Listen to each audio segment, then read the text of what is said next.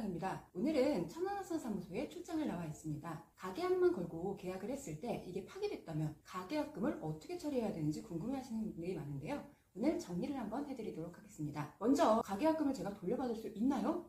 라든가 제가 가계약금 배액 상환을 해야 되나요? 이런 질문도 있고요. 또 아니면 가계약금이 아니라 계약금까지 다 주고 나서 계약을 해지할 수 있는 건가요? 또는 가계약금이 아니라 계약금에 배액을 상환해야 되는 건가요? 궁금해 하시는데요. 먼저 첫 번째로 중요한 것은 본 계약이 성립했다고 볼 수 있는지 이 여부입니다. 만약에 본 계약이 성립된 것인데 계약금 일부만 지급하기로 한 거다. 이렇게 인정되는 경우에는 계약금을 낸 사람이 파기하는 경우에는 나머지 계약금까지 다 낸 다음에 파기가 가능하고요.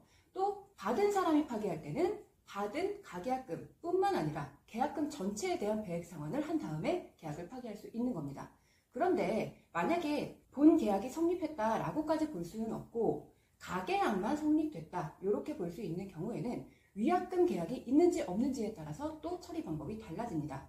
이때는 만약에 가계약금을 위약금으로 한다라는 취지의 약정이 있었다라고 한다면 낸 사람은 가계약금 포기해야 하고요. 또 받은 사람은 계약금의 배액을 상환해야 합니다. 만약에 이러한 약정이 없었다면 가계약금 돌려받을 수 있고요. 또 가계약금 받은 사람은 가계약금만 돌려주고서 파기를 할 수 있게 되는 겁니다. 그런데 문제는 본계약이 성립됐다라고 볼 수 있는지 여부, 또 위약금 계약이 있었다고 볼 수 있는지 여부, 이런 거에 대해서는 개별 사안마다 구체적인 판단이 필요합니다. 그렇기 때문에 변호사와 상담이 필요한 사안이고요. 만약에 이러한 상담을 통해서 내가 받을 수 있다, 나한테 유리한 사정이 있다, 라고 한다면 이러한 내용을 법리적으로 치밀하게 구성한 내용 생명을 발송해서 상대방이 소송까지 가지 않고도 계약금을 돌려주도록 할 수 있습니다. 실제로 법무법인 대한중앙은 이런 사안에서 계약금을 돌려받은 다수의 성공 사례를 보유하고 있습니다.